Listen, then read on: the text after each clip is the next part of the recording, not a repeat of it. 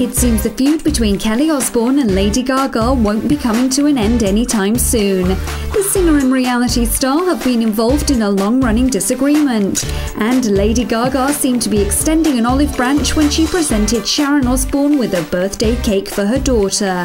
However, 29 year old Kelly didn't seem very impressed tweeting that she didn't want to be ungrateful, but that the Born This Way hitmaker should have sent it straight to her. Meanwhile, Lady Gaga's peace offering seemed to work on the Osbourne matriarch, who tweeted that she was blown away by the singer's performance and graciousness. Hmm, it looks like this could rumble on for a while yet.